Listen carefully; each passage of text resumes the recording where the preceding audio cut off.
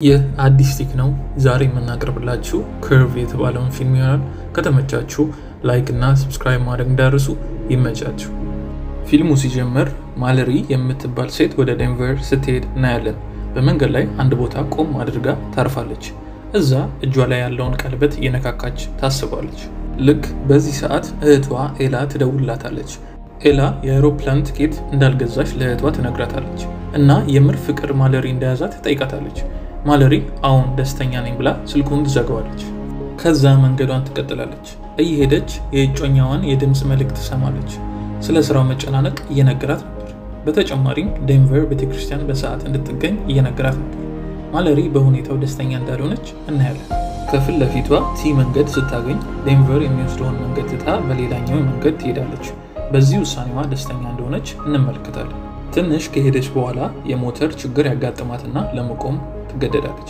መኪናውን አቁማ የሞተር ዘይቱን ታየዋለች። ከዛ ለማስነሳት ትሞክራለች፣ እምቢ ይላታል። ከዛ ስልክ ለመደወል ትሞክራለች፣ ግን ምንም ሲግናል ማግኘት አልቻለች። መኪናው ውስጥ ትመለስና የሚጠጣ ነገር ስከፍት በስህተት ከላይ የለበሰችው ይበላሽባታል። ከመኪናው ወጥታ ከጀርባ ልብሷን ስትለውጥ አንድ ሰውዬ ያስደነግጣታል። መኪናው መበላሸቱን ካየ በኋላ ልርዳሽ ይላታል። ከዛ ወዲያው ሞተሩን ያሰራዋል። ማለሪ ሰውየውን ልክፈል ትለዋለች። እሱ ግን አልፈልግም ይላታል። ማለሪ ካመሰገነችው በኋላ መኪና ውስጥ ገብታ ትሄዳለች። ነገር ግን ከሄደች በኋላ ያሳዝናትና የምትሄድበት ቦታ እኔ ላደርስ ትለዋለች። እየሄዱ በጣም ይግባባሉ። ነገር ግን ማለሪ ብዙ ባወሩ ቁጥር ክርስቲያንን መጠራጠር ትጀምራለች። ክርስቲያን እየደጋገመ እድል ነው ከአንቺ ጋር ያገጣጠመችን ይላታል። ማለሪ መኪናውን አቁማ ውረድ በቃ ስትለው ቢላ ያወጣል ክርስቲያን እና የግዷን እንድትነዳ ያደርጋታል። ክርስቲያን ይሄ መፈጠሩ አይቀርም ነበር ይላል እና የሆነ ሆቴል አለ ከዚህ ቀረብ ብሎ እዛ ውሰጂን ይላታል። ማለሪ እየነዳች ክርስቲያን ሲትቤልቱን እንዳላሰረ ታያለች። ይህን አጋጣሚ በመጠቀም መኪናውን በፍጥነት እየነዳች የመንገዱ ሬል ጋር መኪናውን ለማጋጨት ታስባለች። ነገር ግን ክርስቲያን ሀሳቧ ይገባውና የመኪናውን አቅጣጫ ለማስቀየር ይሞክራል። መኪናው ግን መንገዱን ጥሶ ይወድቃል። ማለሪ ስትነቃ መኪናው ውስጥ ተገልብጣ እና ተጎድታ እናያለን። የራሷን seatbelt ታላቅቀዋለች። ዞር ብላ ውጭውን ስትመለከት ገደል ውስጥ ነች። እግሯንም ማላቀቅ እንደማትችል ትረዳለች።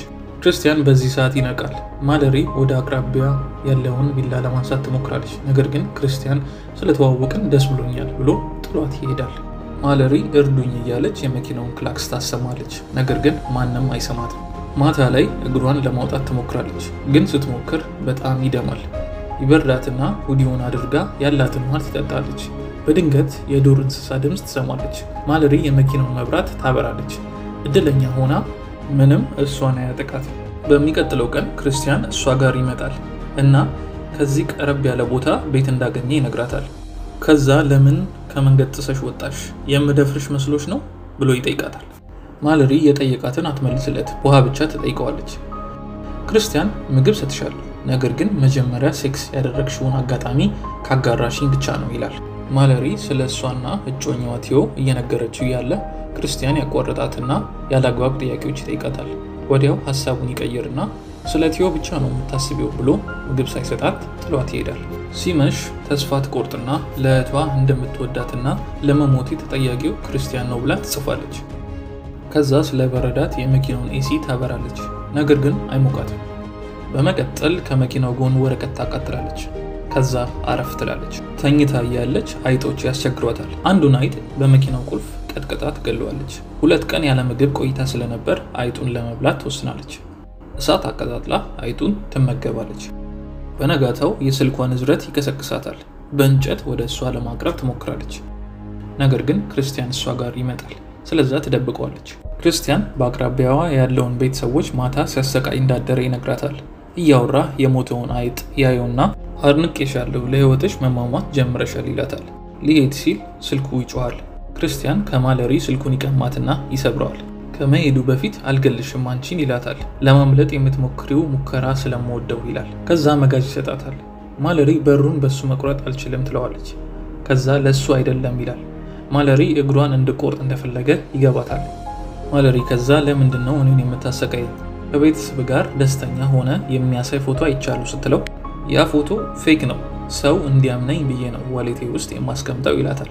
ከሄደ በኋላ በመጋዙ እግሯን የያዘውን ነገር ለመቁረጥ ትሞክራለች። ነገር ግን አይሳካም።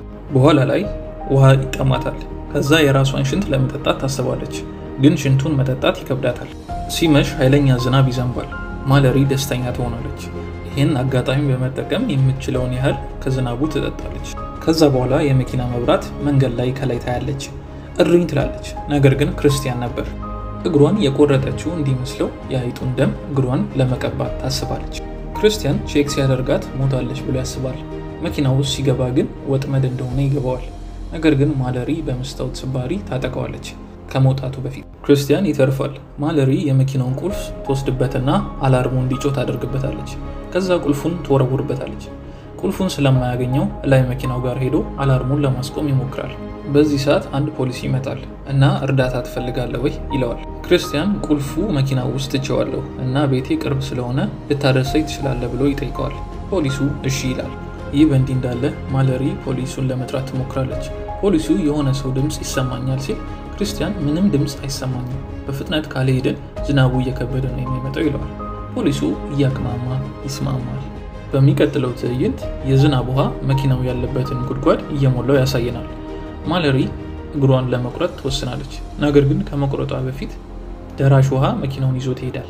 ይሄ እግሯ ነፃ እንዲወጣ ያደርገዋል። ወደ መሬቱ በመዋኘት ራሷን ታተርፋለች። የግራ እግሯ በጣም ተጎድቷል እና እንጨት በመጠቀም ትንቀሳቀሳለች። እየሄደች በአቅራቢያዋ ካለ ቤት አንድ ሴት እርዱኝ ስትል ትሰማለች። ምንም ብትጎዳም እያነከሰች ወደ ሴቷ ቤት ለመርዳት ትሄዳለች። እየሄደች በድንገት የድብ ወጥመድ ውስጥ ከመግባት ለጥቂት ትተርፋለች። ቤቱ ጋር ስትደርስ በፊት ክርስቲያን የነገራት ቤት እንደሆነ ትገነዘባለች። የቤቱ ባለቤቶች አልጋው ላይ ተገለው ታያለች። ልጃቸው ኬቲ ደግሞ እዛው ክፍል ታስራ ታያታለች። እዛ እያለች የሁለት ወንዶች ድምፅ ትሰማለች። ክርስቲያን ፖሊሱን ሲገለው ታያለች።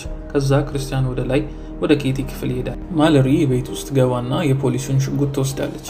በኋላ ላይ ክርስቲያን ከቤት ውስጥ ከሚወጣ ትጠብቃለች፣ ኬቲን ከላይ ለማትረፍ። ከላይ ያለውን ክፍል ድምፅ ሰምቶ ክርስቲያን እዛ ይሄዳል። ከበሩ ጀርባ የተደበቀችው ማለሪ ሽጉጥ ትተኩስበታለች፣ ግን በፍርሃት ምክንያት ትስተዋለች። እየተደባደቡ ማለሪ ኬቲን አምልጪ ትላታለች። ማለሪ ክርስቲያንን በመጨረሻ ከበረንዳው ገፍትራ ትጥለዋለች። ከላይ ወርደው ኬቲና ማለሪ ክርስቲያንን ይመለከቱታል። ሲያገኙት የድቡ ወጥመድ ይዞት በጣም ተጎድቷል። ከዛ ማለሪ እሱ የሰጣትን እድል ትሰጠዋለች። ቢላ ትወረውርለትና ክርስቲያን በፊት እንዳላት ሁሉ ነገር መሆን እንዳለበት ነው የሆነው ብላው ጥላው ከኬቲ ጋር ትሄዳለች። ከደቂቃዎች በኋላ ክርስቲያን እዛው ይሞታል። Curve ፊልም በዚህ መልኩ ያልቃል። ፊልሙ ከተመቻችሁ like እና subscribe button ኡን መጫን እንዳትረሱ። ይመቻችሁ። መልካም ቀን